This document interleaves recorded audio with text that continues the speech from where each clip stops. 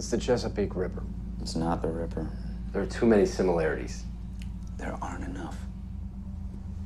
Knife wounds are cuts, not stabs. Anatomical knowledge, dissection skills, mutilation, organs removed, victim clothed, on display. We got 22 signature components, all attributable to the same killer. 22 possible signature components. It's the Ripper.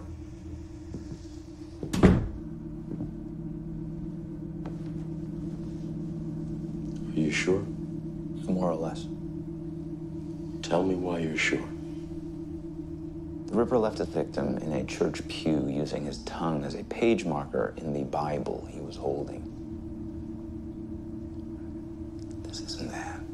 This is a medical student or a trainee or someone trying to make an extra buck in a back alley surgery and it went bad. And actively bad.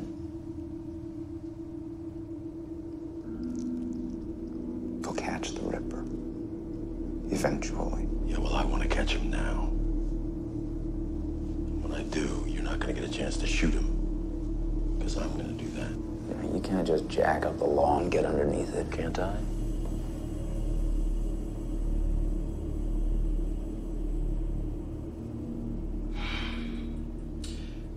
Tell me how you see the Ripper, Will. I see him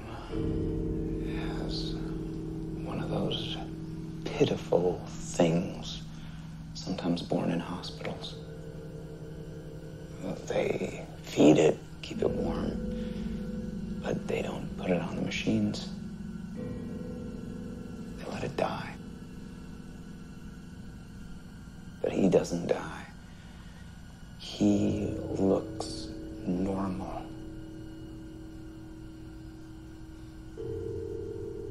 Nobody can tell what he